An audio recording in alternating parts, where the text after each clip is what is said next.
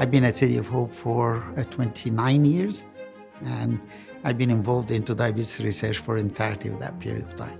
City of Hope actually have made significant contribution to the patient care in diabetes through variety of discoveries. Researchers at City of Hope were the first to define how insulin works, role of insulin in mediating glucose entry into the cell so that it can be used as a fuel.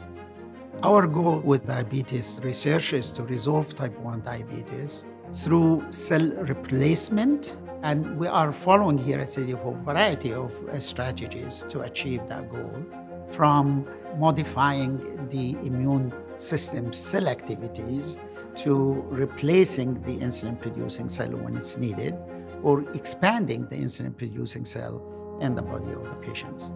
I started the islet cell transplant program at City of Hope in 2002.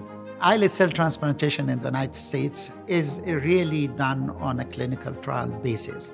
What we have been doing with genetics research is going to also develop a fingerprint for each uh, patient with diabetes and lead to customizing and personalizing the care uh, that that patient is getting.